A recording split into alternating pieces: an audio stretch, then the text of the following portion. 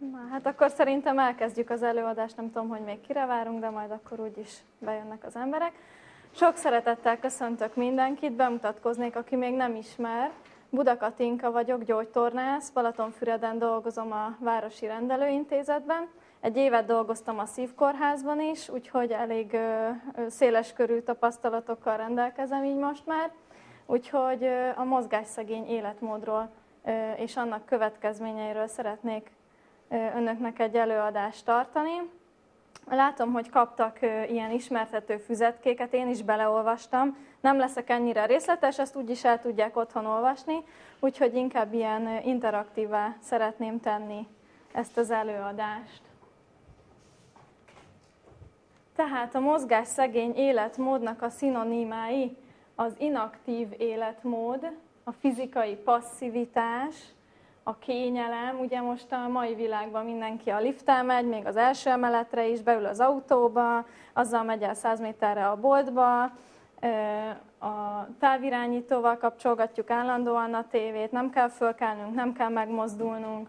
Ugye az ülő munka, itt a képen is látható az irodai munka, tulajdonképpen akik napi 8 órát ülnek, meg sem moccannak, és ez nagyon káros ugye az egészségünkre. Bocsánat, itt közben hátra kell lépegetnem. Ez az ülő életmód szerintem nagyon hasonlít egy növény életére, hogy egy helyben mozdulatlanul ücsörgünk, még a kezünket se nyújtsuk ki, semmiért nem kell megmozdulnunk, minden ott van kéznél, ott van a számítógép, ott van a telefon, ott van az internet, semmilyen energiát nem kell így felhasználnunk, és hát el lehet ezen gondolkodni, hogy ki naponta hány órát tölt el így ebben a helyzetben. A mozgásszegény életmódot most már tudományosan is fejtegetik, ennek van egy definíciója, ez így hangzik. Az ébren töltött órák során másfél metnél kevesebb energiát fogyaszt a test, és mindeközben fekvő vagy ülő helyzetben van. Ezt a metet ismeri-e valaki, ezt a kifejezést? Ezt a kardiológián szokták használni. A MET az a metabolikus ekvivalens tudományos néven, ez tulajdonképpen az oxigénfogyasztásunkat mutatja. Egy MET az azt jelenti, hogy fekszünk és semmit nem csinálunk. Most az ülő életmód ez ehhez képest másfél szinte ugyanaz. Egy sportolónak körülbelül 18-20 metes teljesítménye van. Egy szívműtétet, szívműtéten átesett betegnek körülbelül 2-3 metes teljesítménye van az első hétben. Persze ugye ezt akarjuk növelni. Egy infarktuson átesett betegnek körülbelül 3-4-5 metes teljesítménye van. Amikor ugye elhagyja a rehabilitációs intézetet, akkor minél magasabb metre törekszünk. Én ide raktam egy táblázatot önöknek, amit meg tudunk kicsit nézni és vizsgálgatni, de vannak írva a metek. Ugye 3 mettől 9 metig ö, sorolja a táblázat a, a tevékenységeket. Ez szól az önellátásról, a foglalkozásról, pihenésről, szórakozásról és a testmozgásról. Hogyha nézzünk három metet, ez ugye duplája az ülőmunkánknak. A három met az, hogy megmosakszunk, megborotválkozunk, felöltözünk, írunk, és ugye ott van a foglalkozásoknál, hogy, hogy az ülő munka nagyjából ugye három met, hát ennél valóban kevesebb. Mondjuk egy autóvezetés is három met. Tehát aki nagyon sokat ül az autójában, nagyon sokat vezet, az is egy ülő életmódnak számít. Ugye nem mozdul meg, az egy dolog, hogy nyomja a gázt, a kuplungot, néha vált, kormányoz, de abszolút nem, nem használ el semmilyen energiát. Hogyha nézzük egy kicsit az ilyen általános dolgokat, mint például ablaktisztítás, azt ugye a hölgyek előszeretettel, ez kb. 3-5 met, hát nem sok. Például egy, egy vitorlázás, egy táncolás ugyanígy 3-5 met. Egy könnyű gimnasztika, vagy egy lassú séta ugyanígy 3-5 met. Nézzük mondjuk a legtetejét, egy 9 metet, ugye lépcsőn cipekedni, 45 kilónál nehezebb tárgyat cipelni, a lépcsőn felszaladni, vagy ugye pont aktuális havat lapátolni. Pont ezért szoktuk azt mondani, például egy infarktusos betegnek, amikor kikerül a kórházból, hogy ne azzal kezdje otthon, hogy hazamegy, és akkor havatlapától meg fát vág, mert ugye a szíve ehhez nincsen hozzászokva. Tehát kikerül a kórházból egy 4-5 metes teljesítőképességgel, és utána egy haulapátolással vagy egy fovágással nagyon-nagyon meg tudja magát terhelni. Úgyhogy erre kell figyelni, amikor, hát ugye reméljük, hogy ez nem lesz aktuális, de hogyha valaki kikerül a kórházból valamilyen kardiológiai panasz miatt, hogy nehogy megerőltesse magát. Tehát ez nagyon-nagyon fontos, akár egy szívműtét során, vagy egy infarktus, vagy igazából bármilyen történés során. Ugyanígy fontos, hogy ugye ne terhelje alul sem magát. Hát kikre jellemző ez az ülő életmód? Ez a civilizált társadalommal ö, jött úgymond világra, tehát a városi és az értelmiségi emberekre nagyon jellemző. Ugye a sok irodai munkás ül az irodában, semmit nem csinál, csinálja a, kis dolgát, megissza a kávéját, teszik egy narancsot maximum, de tulajdonképpen ennyi az egész. A fiatalokra nagyon-nagyon jellemző. Ugye most a számítógép, amire mindent rá lehet fogni, a számítógép az most nagyon nagy divat lett, és a fiatalok, sőt a gyerekeknek is szerintem a legnagyobb része naponta sok-sok órát eltölt a számítógép előtt ülve. Hát ugye a gyerekek felkiáltó jellel. Hozzám a rendelőintézetben nagyon-nagyon sok kisgyerek, általános iskolás és középiskolás is jár, konkrétan azért, hogy tartásjavító tornát tartsak nekik. Hát ugye ez ott kezdődik, hogy a nap mondjuk 16-17-18 órájába ők ülnek, a többi meg fekszenek, alszanak. Nem mozognak, reggel 8 elmennek az iskolába, ott ülnek, kényelmetlen a szék, kényelmetlen a pad, esetleg unalmas az óra, lefolynak a székről, majd fog mutatni képet a helytelen és a helyes ülésről is. És akkor délután a plusz óra, meg ilyen korepetálás, meg amolyan külön tanár, és a nap nagy részét ők ülve töltik el. Nagyon-nagyon hát rossz látvány ez. Abszolút semmi hátizmuk nincs, semmi hasizmuk nincs, nagyon-nagyon rossz a tartásuk. A vállízületi mozgás terjedelmük teljesen beszűkült, tehát nem bírják konkrétan felemelni a karjukat, mert mindent fejjel és, és úgy akarnak csinálni, ahogy, ahogy nem lehet, és nagyon nehéz nekik megtanítani, hogy, hogy ez, ez egy rossz irány, amit ők csinálnak, és amikor bejönnek hozzám tornára, még akkor is azt a, azt a helyzetet, azt a görnyed testtartást veszik fel, amihez ugye hozzá vannak szokva. Hát ugye itt is megvan említve az ülőmunkát végzők, az irodai munkások, nagyon sok ugyanígy irodai munkás is jár hozzám gyógytornára, mert itt fáj, ott fáj, amott fáj, fáj a válluk, fáj a hátuk, tulajdonképpen minden fáj. Úgyhogy ez az, ülő, ez az ülő életmód, ez nagyon-nagyon sok negatív dolgot tud maga után vonzani, majd erről is lesz szó. Igen, a kutyasétáltatós kép az is egy eléggé vicces. Tehát a mindennapi testmozgás hiánya az egy égető probléma manapság. Ez egyértelműen összefügg a krónikus betegségek kialakulásával. Egyes statisztikák azt mutatják, kérdőíves vizsgálatokban mérték fel, hogy hát ugye az volt a kérdés, hogy miért nem mozognak az emberek. Hát a leggyakoribb ok az az időhiány volt, de én úgy gondolom, hogy mindenkinek arra van ideje, amire akarja. Tehát akkor a következményekről is beszéljünk.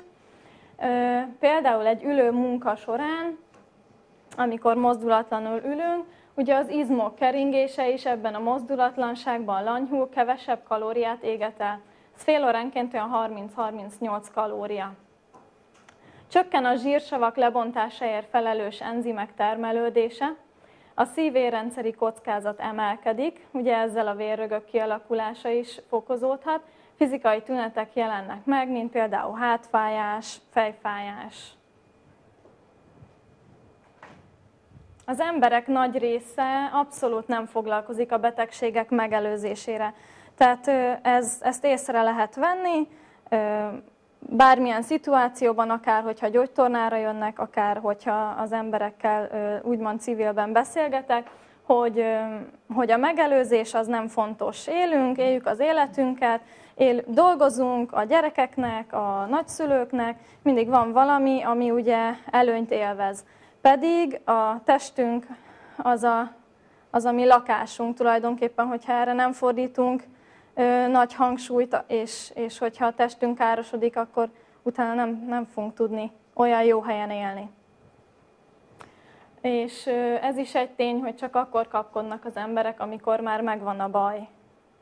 Bármilyen esemény, akár egy agyi történés, akár egy kardiológiai történés, akár egy bármilyen törésről tudunk beszélni, vagy a gyerekeknél, hogy úristen a gyereknek ö, ö, gerincferdülése van, hát az nem véletlen, hogy kialakult, tehát nem egyről a kettőre, mint egy fertőző betegség, hogy elkapja a gyerek, hanem ennek sajnos megvan a, az oka. A túlsúly és az elhízás a fő kockázati tényező, és az egyik legjelentősebb egészségügyi probléma. Hát a tudomány most már külön betegségnek sorolja azt, hogyha valaki túlsúlyos vagy elhízott. Tehát nagyon-nagyon sokat foglalkozik vele az egészségügy és a tudomány. A sok ülés öl. Ezt azért jegyezzük meg. Annyi, annyi rossz következménye van, hogy sajnos, sajnos meg tud minket ölni. És nagyon sok tünetet okoz. Ezeket a tüneteket most már összességében úgy is szokták hívni, hogy ülésbetegség. Tehát ez egy elkönyvelt diagnózis, megvan ugye az angol kifejezés is rá, és most már egyszerűen lehet így nevezni az ülés következményeit. Ehhez talán nem fűznék hozzá semmit. A lelki problémák is kialakulhatnak ilyen téren, tehát akár a depresszió is. Ugye a lassú keringés és a, a lassú keringés az kevesebb jó hangulatot biztosító hormont juttat az agyba. Hát ugye a pszichoszomatika, ezt nem tudom, hogy ismerje valaki, vagy foglalkozik-e vele. Ugye a, lelki gondjaink azok testi tünetekben is megnyilvánulnak. Tehát a leggyakoribb az, hogy a stressz miatt a vállunk az, az beáll teljesen, ugye így, így szoktak hívni, hogy beáll. Jó nagy csomók keletkeznek rajta, mindenki szépen a hátára veszi saját maga meg a más embereknek is a problémáját, és ezt cipeli. Ugyanígy egy derékfájás is ki tud alakulni lelki ö, eredet, eredettel, ugyanígy egy, egy gyomorbántalom is. Tehát ezek most már tudományos tények, ö, lehetne róla órák hosszat beszélni. Túlsúly és az elhízás ismét. Tehát ez egy önálló betegség, mint mondtam, minden szervrendszerben előnytelen folyamatokat indít el. Hát ugye, ugyanúgy a mozgás szervrendszerben is, mivel a plusz súlyjal nehezebb járnunk, megterheli az izületeinket, porckopáshoz vezethet. Ugyanúgy a szívérendszeri rendszerre is ö, súlyos következményeket ró. A mennyiségi túltápláltság és a minőségi alultápláltság jellemzi mostanában az embereknek a táplálkozását. Ez azt jelenti, hogy lehet, hogy eszünk, de nem mindegy, hogy mit. Tehát a sok fehér kenyér, a sok kolbászszalonna, disznósajt, most ugye a téli időszakokban nagyon aktuális, de a zöldség az valahogy mégse kerül mellé, a gyümölcs az valahogy mégse kerül oda, nem is biztos, hogy abban az almában annyi anyag van, mint amennyit mi gondolunk, úgyhogy ezek, ezek ilyen kérdőjeles dolgok, erről még tudunk beszélgetni a későbbiekben is. A kalóriaégetéshez képest ugye nagyobb kalóriabevitel van. Ez a legnagyobb probléma. Tehát amint mondtam, hogy fél óránként egy ülő életmódot végzőnek, fél óránként olyan 30-38 kalóriát éget el. És valószínűleg ugye ennél sokkal többet vízbe, és ezért híznak az emberek. Tehát, hogyha fogyózni akarunk, akkor az a titok nyitja, hogy kb. fele annyit eszünk, vagyis hát fele annyi kalóriát viszünk be, ugye ez fontos megjegyezni, és dupla annyit mozgunk. A BMI index még, ami ugye a túlsúlyt és az elhízást tudja kategorizálni, ez a testtömeg kilogramm osztva a testmagasság négyzetével. Ugye itt kijönnek ezek az értékek, hogy alacsonyabb, mint 15, vagy esetleg nagyobb, mint 30. Itt jól lehet látni, hogy, hogy a normális testsúly, ez 18,5 és 25 tös BMI között van, és a túlsúlyos és az elhízott ugye e fölött, alatt a sovány, kórosany sovány. Ezt, ezt mindenki akár kiszámolhatja otthon. Arra kell figyelni, hogy a test magasságot ugye méterbe kell megadni, tehát hogyha valaki 1,65 magas, akkor 1,65 a négyzete lesz, és akkor így fog kijönni ez az érték. Ezt az interneten is meg lehet találni. Hát egy következmény a cukorbetegség is. Ugye a mozgás csökkenti az inzulin szükségletet és késlelteti az inzulin rezisztencia kialakulását. A túlsúlynak is és az elhízásnak is a következménye a cukorbetegség. Aztán a mozgásszegény életmódnak következménye még ugye a gyomorbélbetegségek. Lelassul az anyagcsere, és ez nagyon-nagyon sok kóros folyamathoz tud vezetni. Tehát a napi mozgás az, az, az mindenkinek kell, a gyerekeknek is kell, a felnőtteknek, az időseknek is, ugye az időseknek még jobban levalassulva az anyagcseréjük, úgyhogy erre is mindig gondoljunk. Mozgásszervi betegségek, na ez az, amiről iszonyatosan sokat lehetne beszélni. Hát ugye csökken a vérkeringés az izmokban, ezt már el tudjuk képzelni, hogy milyen következményeket von maga után. Egyes izmok legyengülhetnek, egyes izmok megrövidülnek az ülés hatására, tehát akár a combhajlító izmok, a térthajlító izmok meg tudnak rövidülni.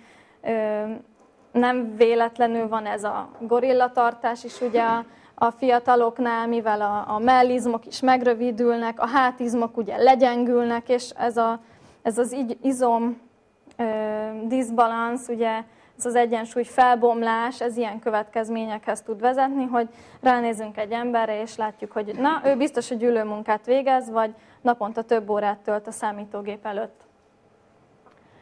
Rengeteg tünet okozója a fizikai passzivitás, hát nap mint nap elég sok ember megfordul a, akár a rendelőintézetnek a reumatológiáján is. Hallani szoktam a rendelési idő alatt, hogy itt fáj, ott fáj, amott fáj, és hát végül is ugye nálam a gyógytornán kötnek ki többnyire. Az irodai munkásoknak is nagyon sok fizikális panasza van, így ehhez még hozzáadódik a stressz is. A gerinc panaszok is itt jönnek ugye képbe, a nyaki, háti és ágyéki szakaszon, tehát nem véletlen ez a sok gerincsér mostanában, akár a nyaki szakaszon is a háti szakaszon kialakulnak ezek a, ezek a domború hátak, akár egy gyulladással is együtt lezajlódhatnak, ami elég rossz következményekkel járhat.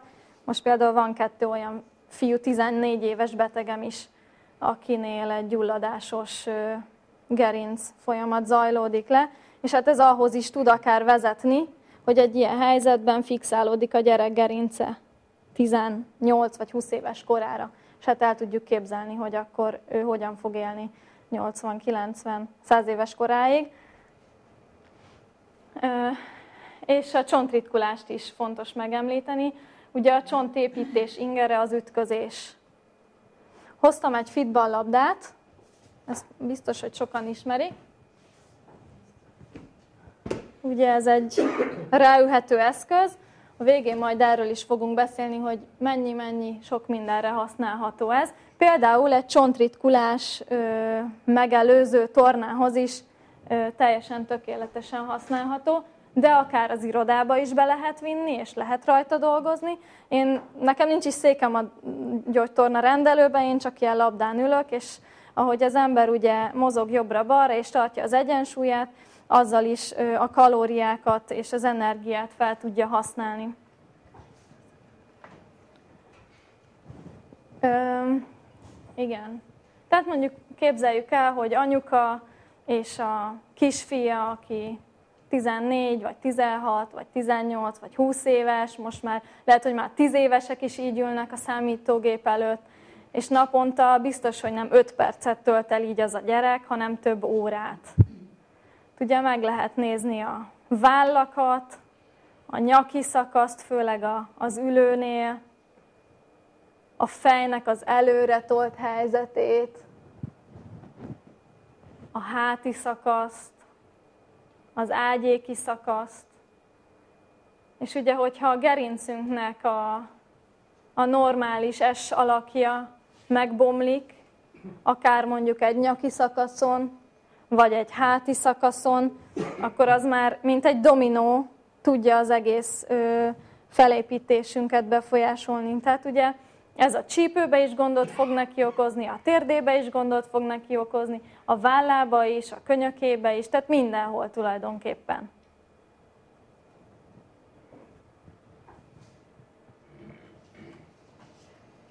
A helyes ülés. a helyes ülés. Igen.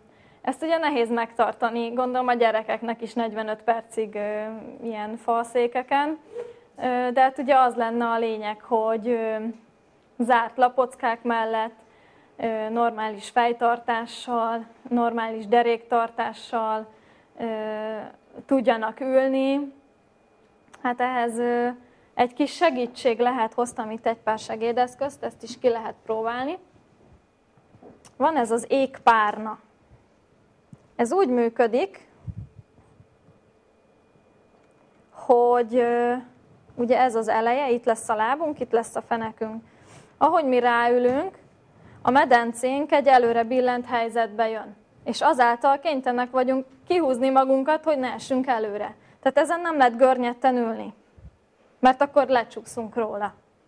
Nagyon jó taktika mondjuk a, a gyerekeknél egy ilyet az író asztalhoz, vagy bárhova odarakni, ezt körbeadnám, hogy akkor mindenki üljön rá, próbálja ki. És a gyerek nem lesz az, hogy első körben meg fogja fordítani? Hozzá kell ragasztani a székhez. Jó, tehát a vast, a széles fele van hátul.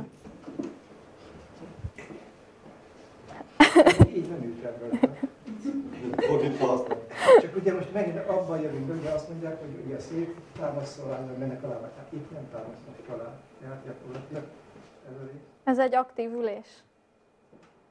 Tartania kell magát, hogy ne billenjen el. Ez ugye hozzásegít ahhoz, hogy, hogy egyenes háti gerincel tudjunk ülni. Aztán a következő, ez egy hengerpárna. Ezt ugye a derékhoz lehet rakni, ez tulajdonképpen ugyanaz a cél, csak ez egy passzív stabilitást fog adni. Ez ott fog megtámasztani minket, akár az autóba is lehet használni, ott is nagyon jó. Mondjuk mostanában most már az autóknak is megvan, hogy ki lehet alakítani azt a domborulatot, vagy a széken ülve, vagy tanuláshoz, vagy olvasáshoz, olvasáshoz vagy teljesen mindegy. Ezt is körbeadom. Ja, tehát nagyon sok ilyen segédeszköz van, amivel lehet segíteni a helyes ülést. Hogyha már egyszer valaki arra kényszerül, hogy ülőmunkát végezzen, akkor gondolhat rá, hogy van ilyen? Enged? Ilyen labda?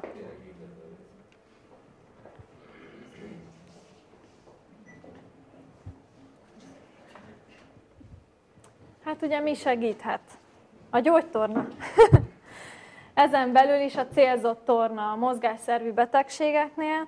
Ugye mondjuk egy példaként hozom fel egy váltörés vagy egy kartörés után, jönnek a gyógytornára az idősebbek, úgy mondom, hogy például a 80 évesek, tehát eljön egyszer tornára a néni, és mondja, hogy hát ő, ő, ő otthon úgy is dolgozik, meg kapál, meg veteményezik, meg mindent csinál. Hát ugye az nem ugyanaz, mint amikor célzottan izmot kezdünk el építeni, vagy egy-egy mozgást próbálunk forszírozni. A táplálkozás nagyon-nagyon fontos. Mozgásszervi panaszokban fontos, hogy pótoljuk az ásványi anyagokat, a kurkumát, a porcépítő anyagokat, hialuronsav tartalmú készítményeket, nagyon fontos megjegyezni, hogy minőségi termékeket fogyasszunk. Tehát nem elég az, hogy kurkumával megfőzünk valamit, és akkor rárakjuk, hanem, hanem minőségi alapanyagokat kell elfogyasztani ahhoz, hogy valóban érdemben javítson a panaszunkon. Minden órában meg kell mozdulnunk, nyújtózkodni kell, megmozgatni magunkat. Ugye azért jó, hogyha esetleg fitballon ülünk, és úgy ülünk a számítógép elé, vagy úgy olvasunk, vagy úgy csinálunk bármit, mert az minden percben kénytelen ö, megmozgatni minket, ahogy ugye aktívan ülünk, és ö, minden pici izmunk kénytelen ott tartani az egész gerincünket. A szívérrendszeri betegségek. Hát ugye egy lelassult vérkeringésnél ugyanígy el tudjuk képzelni, hogy mi történik a szervezetünkkel. Duplázol? csökken a szív terhelhetősége, csökken a teljesítő képesség. Tehát ugye ez a teljesítő képesség, ez a MET, amit az elején megbeszéltünk. Tehát, hogyha nem mozgunk, nincsen meg az a fizikai aktivitásunk, akkor ami mondjuk egy egészséges embernél például 10 vagy 12 met, az ülő életmód csak úgy le tudja vinni teljesen, mondjuk 5-6 metre, és akkor jön az, hogy az ember fölmegy három emelet lépcsőt, és rájön, hogy húha, hát itt most tényleg elfáradtam. Tehát ez az, amikor csökken a teljesítőképességünk. Mondjuk egy tipikus példa. Ugye edzetlen személynél magasabb a nyugalmi pulzus, és ez a terhelésre még fokozódik. Tehát egy edzett egyénnél, mondjuk sportolóknál, focistáknál, mindegy, hogy kiről beszélünk, ő náluk alacsonyabb a nyugalmi pulzus, és relatíve nem is megy annyira fel nekik. Mert ugye a szívük sokkal jobban tud dolgozni. Egy edzetlen egyénnél ez sokkal magasabb, mondjuk 72-84 lehet, vagy akár ugye 90-es nyugalmi pulzus is szokott most már előfordulni, és fut egy kört, vagy meg kell emelnie valamit, és ez egyből kiugrik. Tehát ez az, ami nagyon meg tudja terhelni a mi szívünket.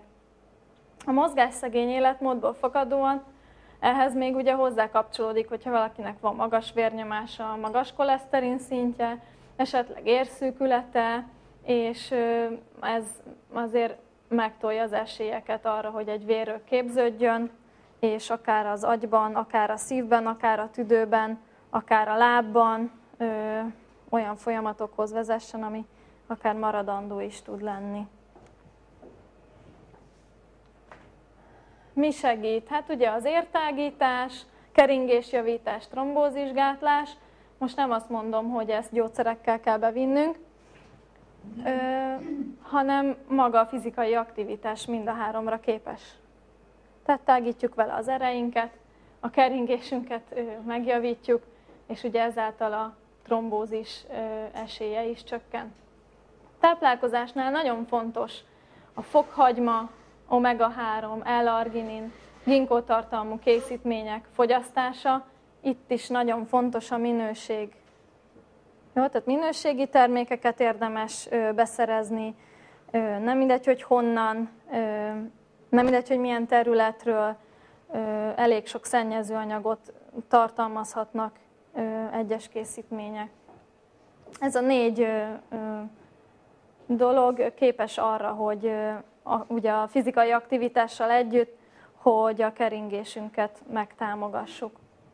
Hát ugye a megoldás az mindig a mozgásunk lesz, úgyhogy a fizikai terhelés élettani hatásairól is szeretnék egy pár szót mondani. Valószínűleg a kis füzetekbe is találnak erről leírt anyagot. Ugye fokozza a nitrogénoxid aktivitását. Ez a nitrogénoxid az, ami értágító hatású lesz, hogyha az erekben ott van. Például szívbetegeknél szokták ezt a nitrátot adni, hogyha valaki rosszul van, vagy jön ez a fulladásérzés, vagy szívnyomásérzés, akkor ugye nyelv alá ö, szokták ö, adni ezt a nitrogénoxidot, és akkor elmúlnak a tüneteik, mert ugye kitágítja a koszorús ereket. A fizikai terhelés is képes erre. Csökkenti az érszűkítő hatású enzimek termelődését. A koszorú sereg keringését javítja. Tehát itt nagyon fontos ugye az infarktus megelőzés. Csökkenti az oxidatív stresszt, csökkenti a trombocitek összetapadását, csökkenti az LDL szintet, csökkenti a triglicerid szintet, és növeli az érvédő hatású HDL koleszterint. Ugye a fizikai aktivitás csökkenti a testsúlyt, hogyha a kalóriákra is figyelünk. Túlsúly esetén csökkenti a kardiovaszkuláris veszélyeztetettséget. Ugye ezt az előbb elmondtam, hogy a szám relatíve alacsonyabb lesz egy edzetlen egyénhez képest, és ez jobb koszorúsér keringéshez, kevesebb oxigén felhasználáshoz vezet. Miért és mit érdemes sportolni? Hát szerintem a miért az már annyira nem kérdés. A rossz következmények miatt, hogy mit, igazából bármit. Függhet a kortól, ugye betegségektől, van-e más kockázati tényező, eddig mit csináltunk, mit nem csináltunk, függhet ez a BMI-től, tehát egy túlsúlyos ember álljon neki futni, függhet ez a fitségtől és állóképességről.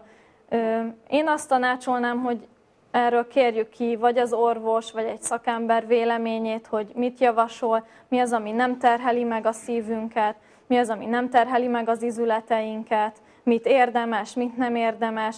Ugye most csak példa, hogyha van egy csípőprotézis, akkor egy csomó olyan mozgás kieshet, ami addig, addig lehet, hogy jónak tűn. De ugye a csípőprotézissel vannak olyan tilos dolgok, amiket nem szabad. Ugyanez, hogyha volt valakinek egy infarktusa, akkor ezt meg kell beszélni a gyógytornásszal, a kezelőorvossal, hogy mit szabad, mit nem szabad tennie. Hát igen, a fokozatosság elve. Tehát aki életében nem sportolt, és esetleg még túlsúlyos is, az lehetőleg ne vágjon bele a közepébe, mert nem lesz sikerélménye.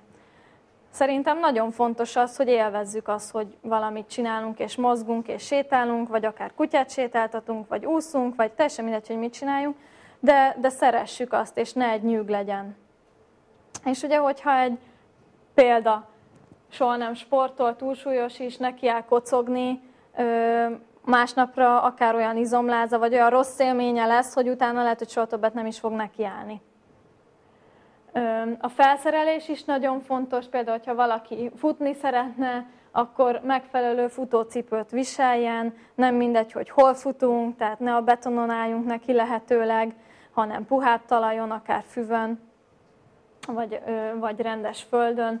Eleinte egy 20-30 perces e-, edzéssel érdemes kezdenünk, és egy pár hét után lehet emelni a teljesítményt. Ugye ez is teljesen ö, személyre szabott. Tehát tényleg az a legjobb, hogyha mindenki az orvosával, akinek esetleg van bármilyen problémája, tehát nem, nem kell ezt mindenkinek, de akinek esetleg volt egy infarktusa, vagy bármilyen műtétje, vagy bármilyen beavatkozása, érdemes az orvossal, gyógytornász, vagy bárkivel ezt megbeszélni, hogy nehogy rossz vége legyen a dolognak.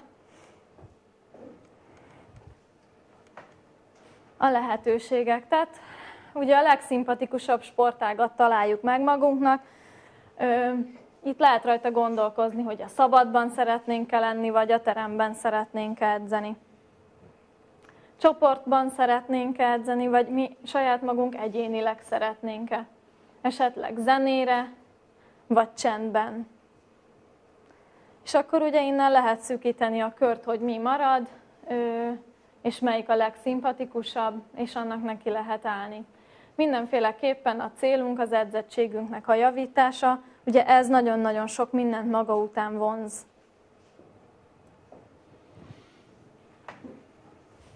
Az állóképesség növelése és a testsúly csökkentése is lehet egy cél. A másik cél az, hogy esetleg alakformálás, izomerősítés. Ugye mind a kettő másféle mozgásformákból épül fel. Tehát az állóképességet úgy tudjuk növelni, és a testsúlyt úgy tudjuk csökkenteni, hogyha ciklikus aerob mozgásformákat végzünk. Ez azt jelenti, hogy egymás után ismétlődő dinamikus mozdulatokból áll ez a torna. Ugye a vérnyomás, a pulzus és a vérkeringés fokozódik, és így edzi a szívünket, szervezetünket. Ilyen például a séta, a kocogás, a futás, a biciklizés, az úszás, ugrókötelezés, aerobik, fitballos edzés, például egy sima fitballlabdával is lehet állóképességi edzést csinálni. És a gyors gyaloglás, azt nem is írtam le, de például az is inkább kocogás helyett válaszuk a gyors gyaloglást, vagy a Nordic Walkingot. Ki ismeri a Nordic Walkingot fel a kezeket? Nem? Csak nincs bot. Tehát ugye a Nordic Walking. Ezt ö, valaki hallotta, valaki ismeri, valaki űzi. Ö, ugye ez nem az egyszerű bottal kapálunk és megyünk, hanem ennek is megvan a maga technikája, és akkor hatásos, hogyha jól csináljuk. Tehát itt ugye a képen is látszik, hogy hát ellentétes karláb, ugye ez a leges legfontosabb, tehát hogyha mi nagyot lépünk előre, akkor az ellentétes karunkkal fogjuk kitámasztani a botot. Megvan hozzá egyébként a speciális bot, úgyhogy ez sem mindegy, hogy mit használunk. Ne álljanak neki síbottal elmenni a, a, az erdőbe mondjuk, vagy bárhova megvan hozzá speciális bot, fontos a megfelelő felszerelés, elég melegünk lesz közben, úgyhogy érdemes rétegesen öltözni, hogy utána le lehessen vetni a dolgokat. A jó cipő, igen, körülbelül ennyi, meg akár társaság. Ez egy eléggé intenzív és gyors gyaloglás, ugye a botok miatt. A botok le tudják venni a terhelést az izületeinkről tehát a csípőizületről is, a térdizületről is, a bokáról is, és ezért ajánljuk a, akár túlsúlyos betegeknek is, tehát könnyebb vele menni.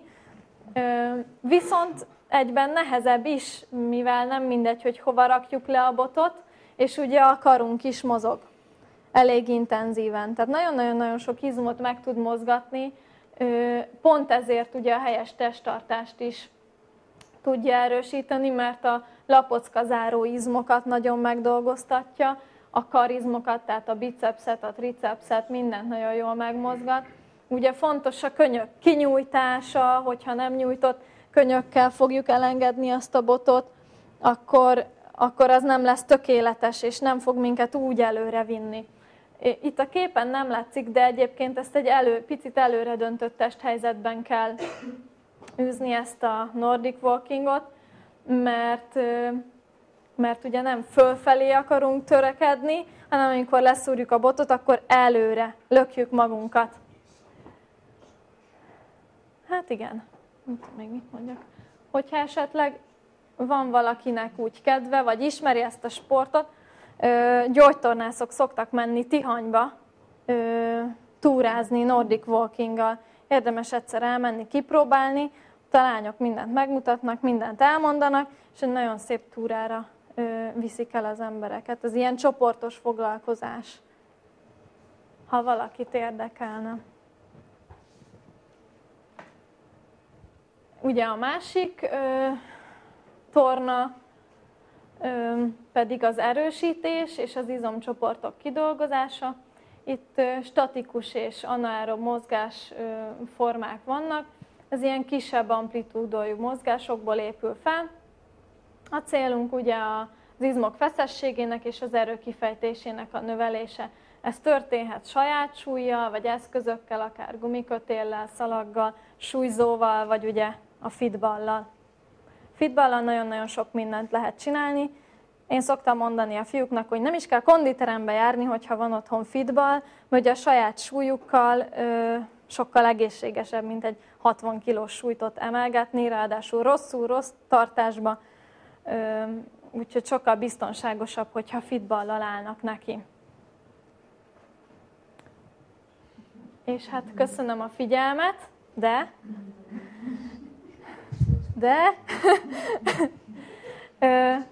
Hát szeretném, hogy azért egy kicsit úgy álljunk fel és aktivizáljuk magunkat, hogyha már ennyit beszéltünk a mozgásról. Egy pár gyakorlatot mutatnék csak, ami otthon, tévézés közben, vagy bármikor kivitelezhető. Tehát ugye nagyon fontos az, hogy megnyújtóztassuk az izmainkat, egy kicsit serkentsük a vérkeringésünket, ezt akár ülve is lehet, nem fontos állva, ugye a legjobb, hogyha állva csináljuk, de ülve is lehet bármikor. Azért minden órában érdemes egy kicsit megmozdulnunk, kimozdulnunk, a vállainkat megropogtatni. Jó, úgyhogy arra invitálok mindenkit, hogy akár ülve, akár állva, egy pár gyakorlatot.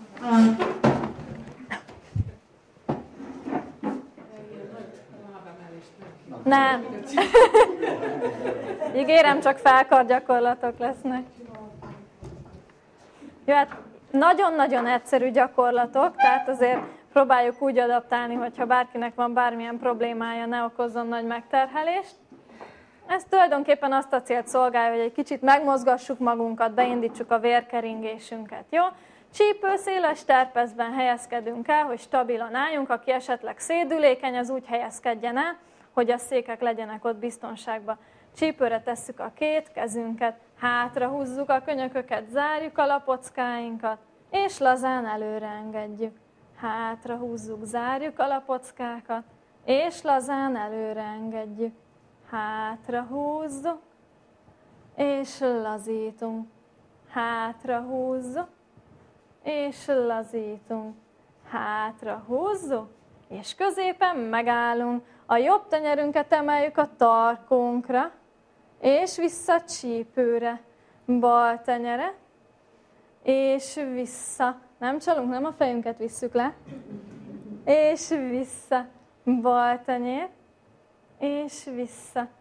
Jobb tenyér, és vissza, bal, és vissza csípőre. Mindkettőt várra emeljük, és vissza csípőre. Fontos, hogy mindig zárjuk a lapockákat egyenes a törzsünk, és vissza várra, és vissza, várra, és vissza, várra, és itt megállunk jobb tenyérrel, jó magasra nyújtózunk, föl, föl, föl, föl, föl, föl, föl, és vissza várra, bal tenyérrel, azaz érjük el a plafontot, már sikerült is, és vissza, jobb tenyérrel, jó magasra, és vissza, bal tenyérrel, és vissza jobb tenyérrel előre, és utána a könyökünket húzzuk hátra, a lapockánkat zárjuk ismét előre, és húzzuk hátra, előre, hátra, előre, hátra, előre, és visszavára jön a másik kezünk, előre toljuk, hátra húzzuk, jól zárjuk a lapockát. Nagyon jó. Csigóban. Mindkettőt egyszerre előre, és hátra húzzuk a lapockákat, összezárjuk jó szorosan, húzzuk hátra, előre, hátra, előre, hátra, és leengedjük a karokat hátrafelé, körzünk a vállakkal, lapockákkal, jó lesően, kényelmesen, és csípőre tesszük a kezünket, még nincs vége. Jobb tenyerünkkel hátra és oldalra nyújtózunk, kifordulunk, amennyire csak tudunk, és vissza. Másikkal is. És vissza. Itt ugye az is fontos, hogy nem kell ráhúzogatni, csak ameddig megy, addig nyújtózunk, és vissza. Bal kézzel, és vissza. Jobb kézzel, vissza, balla, és vissza. Jobb tenyerünkkel fölfelé, balla, lefelé nyújtózunk jó messzire, messzire, messzire, és cseréljük a karok helyzetét. Azaz, nyújtózunk, nyújtózunk, nyújtózunk, nyújtózunk, mindkettővel fölfelé, és mindkettővel hátra lezárjuk a lapockákat, fölfelé, és hátra le, fölfelé, hátra le, fölfelé, és lazán leengedjük a kart. Hátra húzzuk a vállakat, és lazán előre engedjük. Hátra húzzuk, és lazítunk. Hátra húzzuk, lazítunk. Hátra húzzuk, és középen álljunk meg, egyenes a hátunk, a lapockáink zárva. Ebben a helyzetben mindkét tenyerünkkel lefelé nyújtózunk, fejtetővel pedig fölfelé. Tehát ugye nem kell az állat megemelni, hanem mint hogyha innen hátulról húznák föl a fejünket. És lazítunk. Két tenyérrel lefelé, fejtetővel fölfelé, és lazítunk. Nyújtózunk. Érzik, hogy feszül a hátuk?